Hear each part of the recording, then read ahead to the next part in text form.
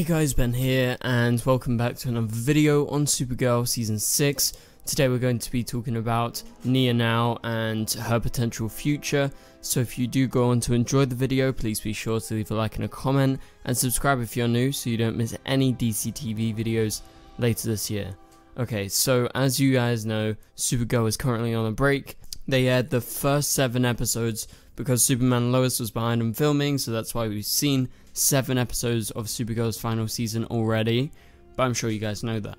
And so it's on a break, it's going to come back in August, that is super exciting. However, the inevitable is coming and Supergirl is going to be ending sometime later this year around November time with its season finale or its series finale.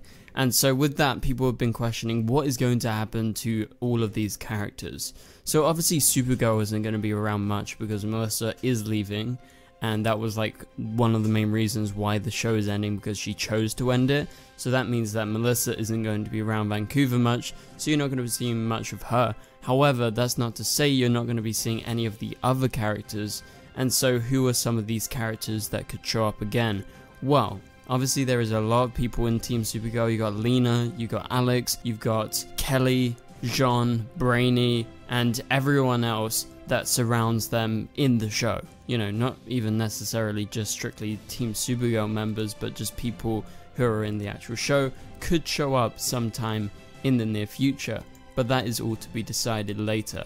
However, the thing I'm going to be talking about in this video is to do with who's going to be showing up, is there a potential for like a potential spin-off in the future, or are they going to be showing up on like other TV shows, and this ties into currently at the moment, they just released a new comic, and that being DC Pride.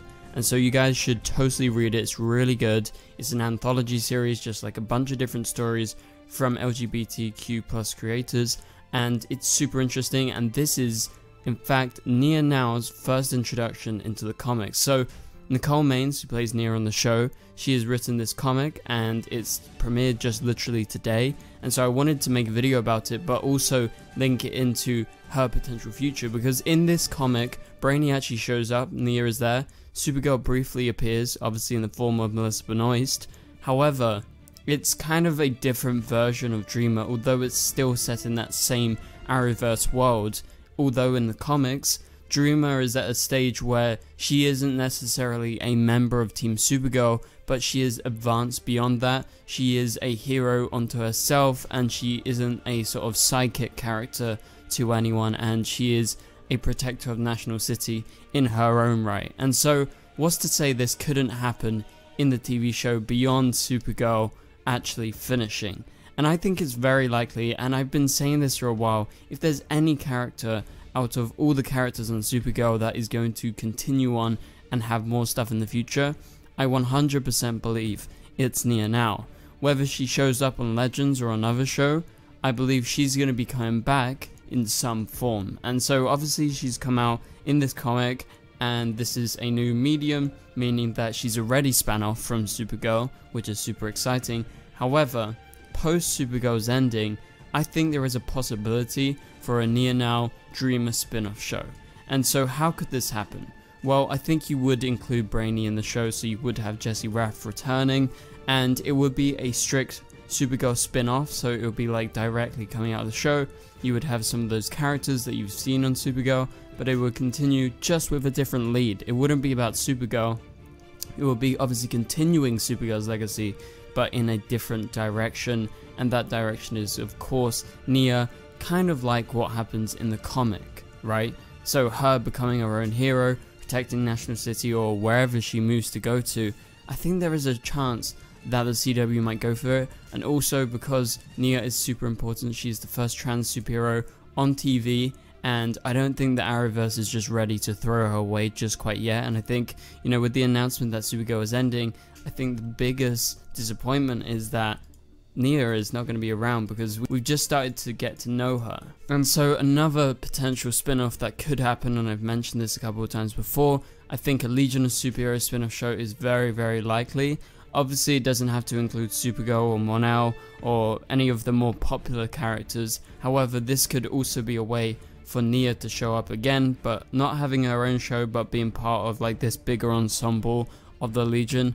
and this way Brainy can also show up too. You would be able to introduce new superheroes in the future that we've never met before, and it would also be continuing Supergirl's legacy, although in the future and with some different characters. So I think that is a potential opportunity that they could go down. Don't know if it's actually going to happen. Again, this is all me theorizing and thinking about like what would be cool. And obviously, another option is Nia joins another show that is currently running right now.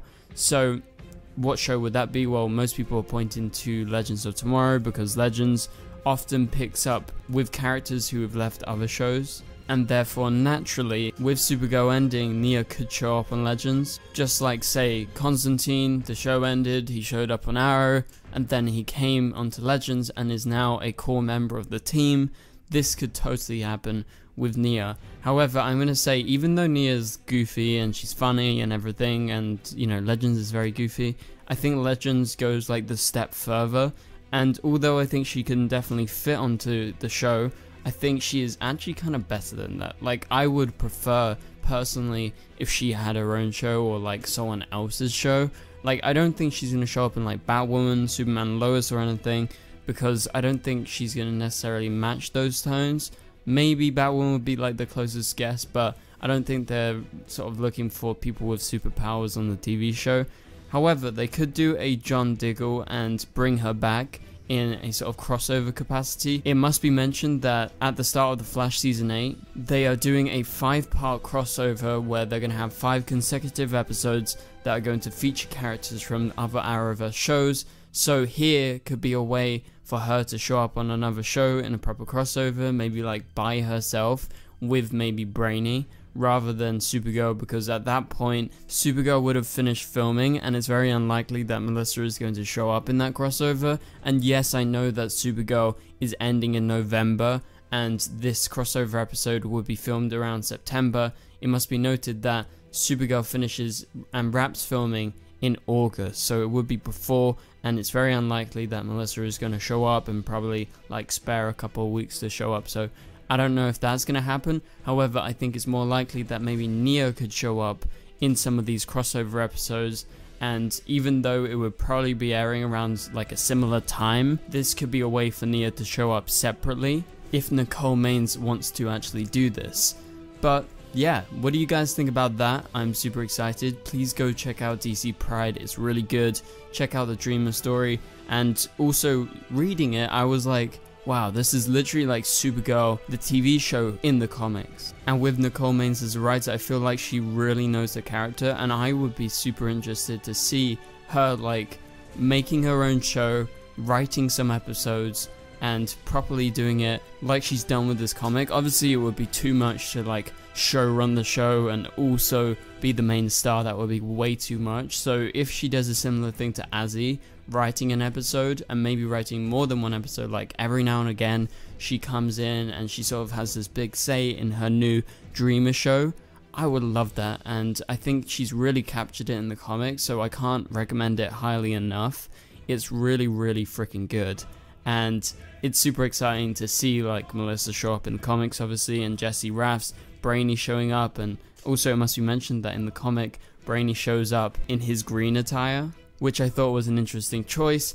But yeah, that's about it for this video guys. Thank you guys so much for watching. So hopefully you enjoyed the video. Please be sure to leave a like and a comment and subscribe if you're new and turn on notifications to not miss any videos. You can click on the top right corner of the screen to watch my latest video. And for now, I'll catch you guys later. Goodbye.